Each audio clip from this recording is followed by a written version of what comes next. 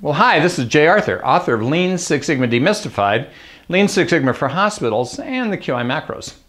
And I want to talk to you about a pattern I, I noticed out there in the world, right? So I talk to people all the time, you know, they're doing Six Sigma stuff.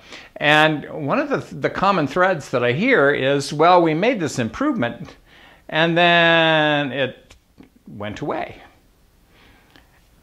what? And so then I start to ask them, I say, well, you know, did you go in and change your procedures uh, to reflect the new way of doing business? Did you change your training? You know, did you put in a control chart or two to monitor the process? Uh, and did you put in corrective actions so if it starts to drift in one direction or another, you know what to do to, to come back into, into performance and, and histograms and Pareto charts if you need them? And they go, well, uh, kind of, eh, you know, we dropped the ball in that part. Somehow teams think that because they work together to make an improvement, everybody understands what the new process is. And it's all in their head, right? Now, if you don't get it out of your head, you've got a problem, all right? Because if you work in like healthcare where they have two shifts a day and then weekends and all these other people and people are coming and going and people leave and take new jobs and, and pretty soon in about six months it goes away.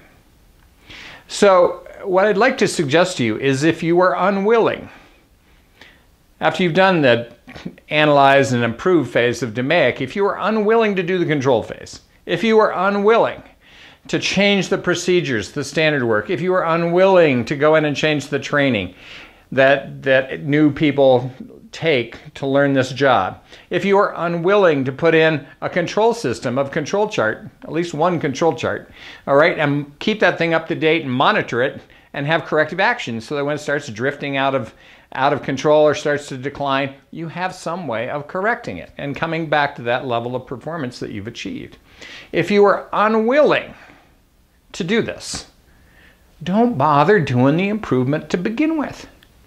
Now, uh, why do I say that? It's, it's just simply this, okay? Uh, if you go in and do it and it falls back to nothing, then all of that effort was wasted. So that's waste. That's bad, all right? And then other people will say, well, see, that Six Sigma stuff, it doesn't work.